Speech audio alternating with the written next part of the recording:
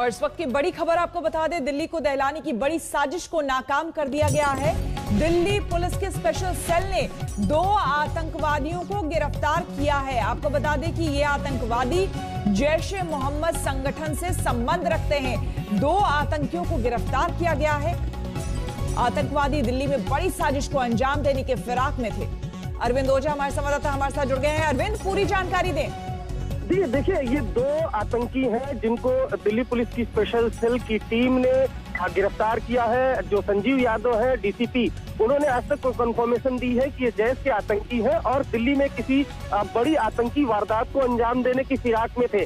फ़िलहाल इनको गिरफ़्तार किया गया है और दिल्ली पुलिस स्पेशल सेल की टीम इनसे लगातार पूछताछ कर रही है। कुछ और एजेंसियाँ भी इनसे पूछताछ कर रही हैं। ये कहाँ कहाँ से आए थे और कहाँ दिल्ली में वारदात को अंजाम देने वाले थे, इन सब के बारे में तहकीकात की जा रही है, क्योंकि ये आज तक एक्सक्लूसिव जानकारी मिली है।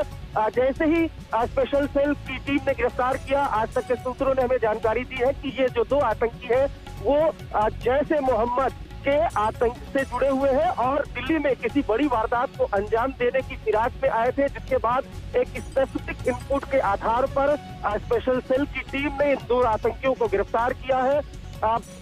ऐसा ये भी बताया जा रहा है कि जम्मू कश्मीर से इनका जुड़ाव है। हालाँकि जो स्पेशल सेल के अधिकारी है, उन्होंने अभी तक कंफर्मेशन नहीं दी है, लेकिन एक बड़ी खबर है कि जिस तरह से लगातार इनपुट मिल रहे थे उसके आधार पर स्पेशल सेल की टीम ने जैसे मोहम्मद के दो आतंकियों को गिरफ़्तार किया है। बिल्कुल बहुत बहुत धन्यवाद आपका अरविंद तमाम जानकारी के लिए।